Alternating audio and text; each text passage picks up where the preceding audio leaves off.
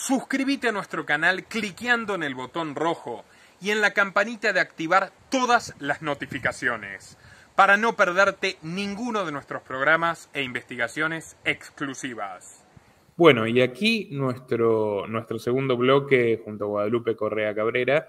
En el primero hablamos de México, les recomiendo mucho el video que ya ha sido publicado sobre Sheinbaum y Ebrard y el futuro de México, ¿no? A partir de, la definición de la candidatura oficial de Morena, el partido Andrés Manuel López Obrador. Ahora vamos con los Estados Unidos. Eh, en esta breve cápsula me gustaría que Guadalupe nos cuente eh, el motivo de su interesantísimo viaje a Los Ángeles. En este mismo momento está en California, está realizando una investigación muy, pero muy interesante. ¿De qué trata Guadalupe? Muchas gracias, eh, Nicolás. Sí, em, que quería entender o quiero entender las dinámicas de, la, de los migrantes mexicanos en los Estados Unidos y bueno, obviamente el estado de California, principalmente la ciudad de Los Ángeles, es uno de, las, de los lugares donde hay más migrantes mexicanos eh, legales e ilegales. Bueno, no se dice ilegales porque las personas no son ilegales, pero sin documentos, eh, indocumentados, migrantes mexicanos indocumentados eh, en, el estado de California y más aquí. Y bueno, también tuve la oportunidad o he tenido la oportunidad de visitar pues, los lugares más complejos, ¿no? Y todos los lugares más complejos, más pobres, donde hay más presencia de, de, personas sin hogar, de, de, consumo de drogas, pues son, son este, partes donde la población hispana, latina, mexicoamericana, en, en particular la cantidad de mexicanos ahí es muy grande.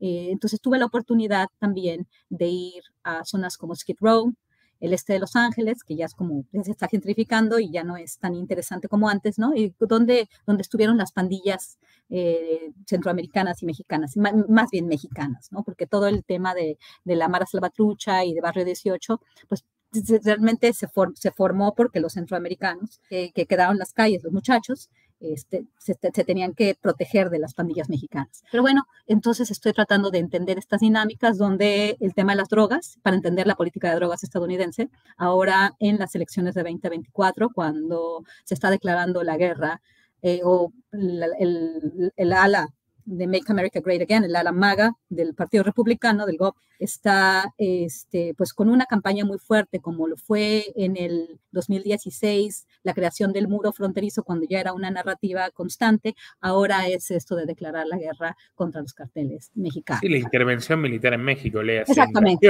porque se plantea incluso que sea no consentido. Exacto, exacto.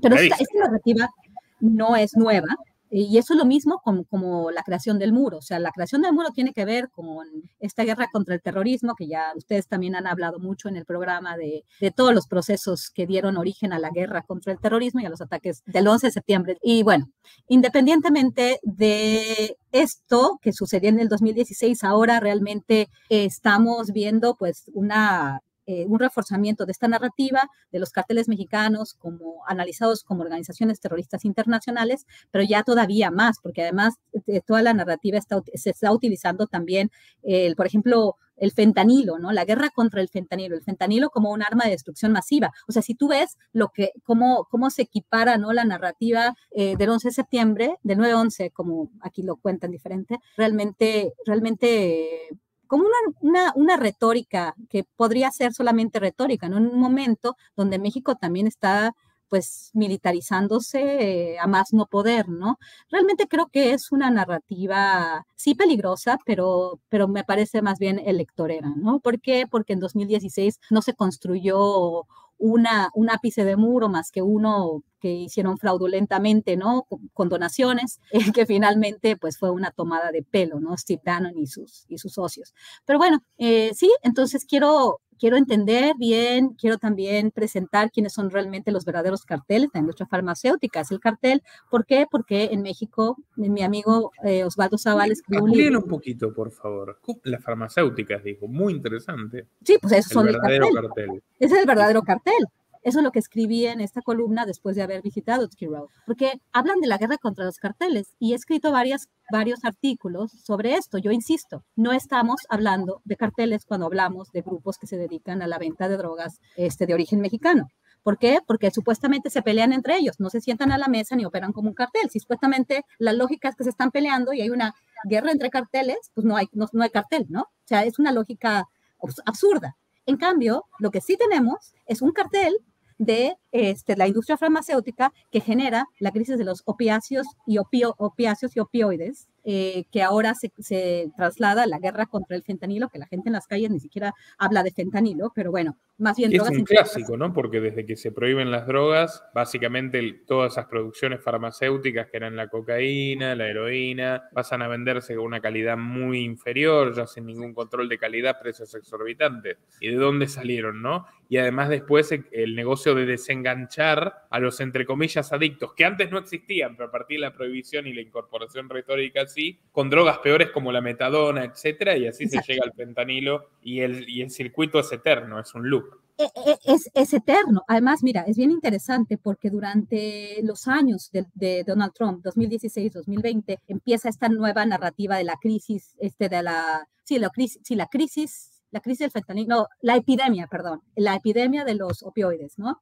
La opioid epidemic. Y entonces empieza todo esto, que como que antes no, no sabíamos bien, y supuestamente esto se genera por todo este sistema eh, de, de, la, de, la, de, las aseguradoras, de todo el sistema de, de salubridad estadounidense, y que sabemos cómo, está operando y cómo esto ha beneficiado, obviamente, a las farmacéuticas por las prescripciones, por, por el tema de los seguros. Entonces, ellos generan estas adicciones y entonces se genera la crisis de los opiáceos y opioides. ¿Por qué? Porque eh, se, se, necesita ya drogas más, ya, ya, no, ya no puedes tener los, los, las, los que compras este, porque, porque ya te volviste adicto, entonces empiezas a consumir heroína y empiezas a consumir otras drogas que son más destructivas y entonces todas estas drogas sintéticas, ahora tenemos la crisis del fentanilo, ¿no? Y entonces todo se pone, a todo le ponen fentanilo. Y todo esto pues obviamente es, es, sintético, ¿no? Y todo esto empieza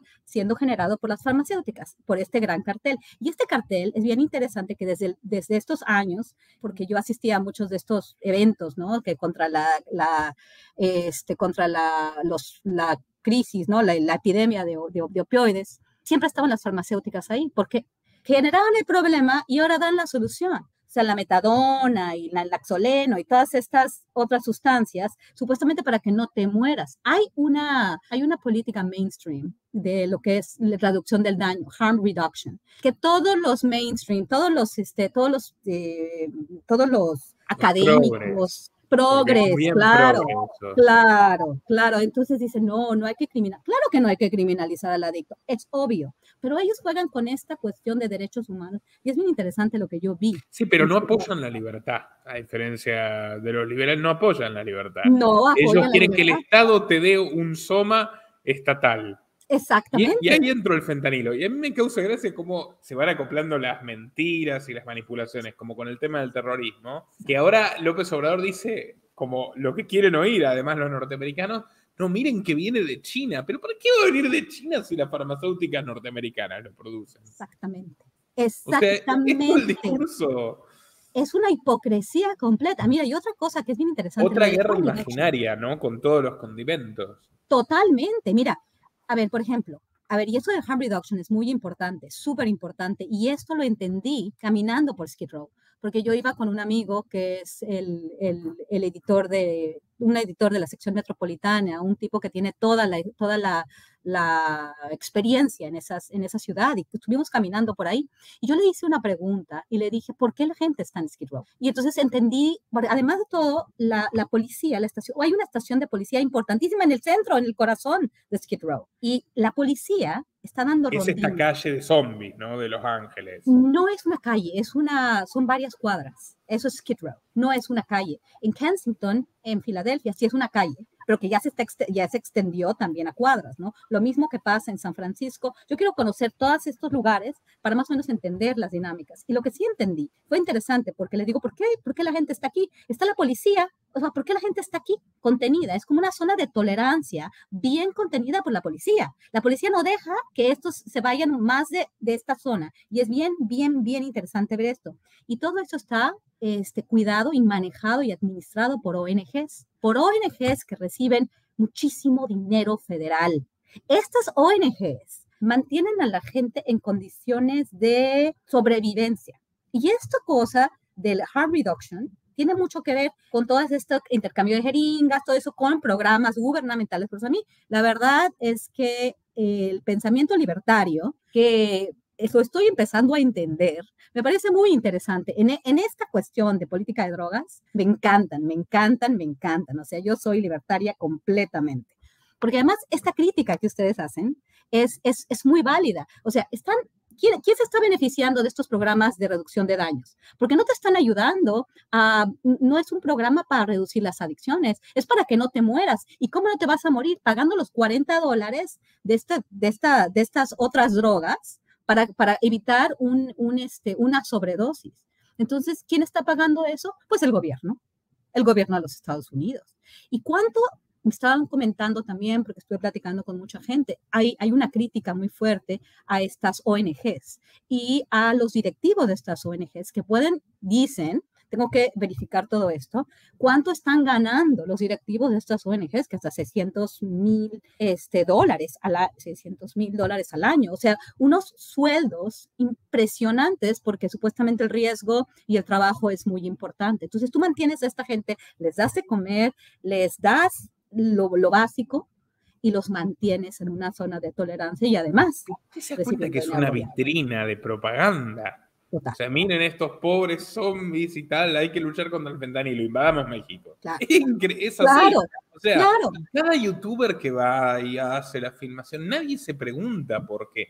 Bueno, obviamente usted eh, tiene otro nivel que mis colegas, bastante superior, ¿no? Como investigadora académica, que es además como es usted, ¿no? Porque otros investigadores académicos tampoco se preguntarían, ¿por qué ponen estos tipos acá? Esa es la gran pregunta. Esa es la gran pregunta. ¿Por qué tienen a todos estos tipos acá acumulados? O sea, están dando un mensaje. E, e, es un sistema bastante perverso y, sádico y sensacionalista donde juegan con, el, con eso, ¿no? Totalmente. Tú has visto, porque yo sí me, este, pues fui víctima de la inteligencia artificial en YouTube. Eh, te invito y, e invito a toda la audiencia a que se metan a YouTube y que pongan, y que pongan Skid Row o calles de Kensington, Filadelfia, y mira, va a ser video tras video, tras video, tras video, historia de mujeres. Esto les encanta, ponerlas a las mujeres que se prostituyen en Kensington, en Skid Row, en Camden, New Jersey. Yo fui víctima de la, de la, de la inteligencia artificial y veía, y veía porque es una, una sensación de, no sé por qué lo hacemos. Morbo, el morbo. Morbo, morbo, morbo, exactamente, morbo.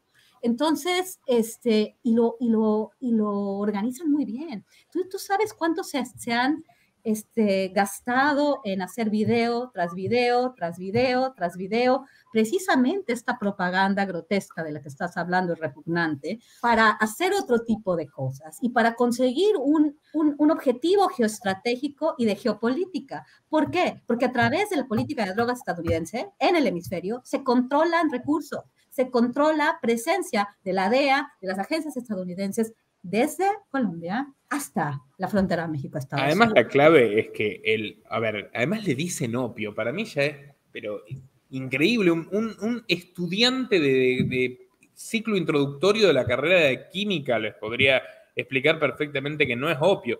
Opinómanos, entre comillas, eran Marco Aurelio, Séneca, Conan Doyle, Nietzsche, Richard Wagner, Guy de Maupassant, personas bastante funcionales y con un nivel muy por encima, ¿no? Lo que ven en esas calles es pobre, pobre gente que si no fuera con fentanilo sería con alcohol. Pero los ponen ahí con el tema del fentanilo para la retórica de la guerra y vamos a invertir más y más y más y en la DEA y en esto y en aquello y bueno, y vamos a mandar unidades militares especiales a México o sea, si les dieran también, no sé, pegamento, estarían drogándose con pegamento, porque el, el, que está destruido ahí es el ser humano, no es que la droga lo destruyó. El ser humano ya estaba destruido y busca con qué destruirse. Totalmente. Ese es el punto. Y tú no necesitaste estar en las calles para, para saber lo que me estás diciendo. ¿Por qué? Porque yo sí pregunté esta vez. Y sabes que sí hay gente que se droga con pegamento en esas calles de Kensington. Pero todo el mundo está hablando de la crisis del fentanilo y es impresionante tú les preguntas, ¿y es fentanilo? No te saben ni siquiera decir. Todos tienen su droga de elección. Siempre preguntan, ¿cuál es tu droga de elección?